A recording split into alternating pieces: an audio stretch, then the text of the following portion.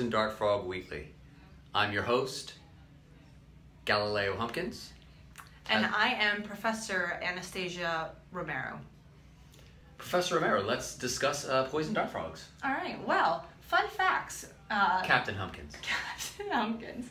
Did you know that actually not all poisonous dart frogs can remain poisonous? I did not know that. Yeah. Um, in fact, if you will feed them the proper diet in captivity, they actually lose their poison over a amount of time. That's that's a very interesting factoid. Um, did you also know that you can be touched or poison darted by a poison dart frog and not get poisoned yourself? Hmm, that is really a good fact because you know what? It is only the golden dart frog that will do that because their poison is so potent that it immediately can make you extremely ill. Really? Oh, that's oh goodness gracious. Uh, you know where poison dart frogs actually they keep their poison um, uh, in an uh, alkaloid toxin through their skin.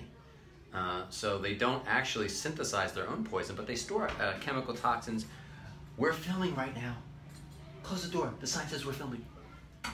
Sorry, these interns. They just they, they don't they, they can't read. It's amazing.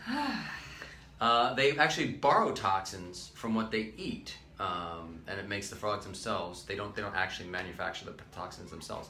Rather interesting. That is uh, that is incredibly interesting.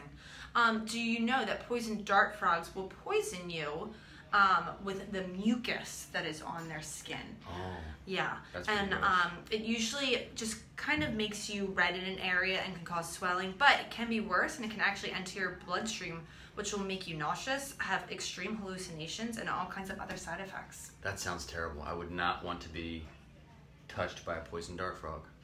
The most poisonous frog contains enough poison to kill 50 people. 50. That's incredible. I know, 50. Wow, I can't think of 50 people I would like to see poisoned.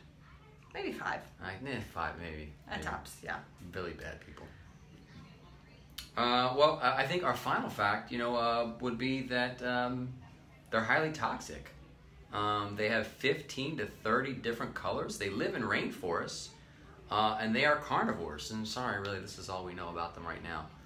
No, I do have one other thing. I think that the reason that they are so poisonous is it is their defense mechanism. They are obviously rather small in size, and so they can be a prey to a lot of larger animals. And so their poison is their defense that they are not eaten, and it is their protection. That is very interesting, Professor Anastasia. Thank you. And that is it for today on poison dart frogs. Thank you for joining National Geographic Weekly. See you next week.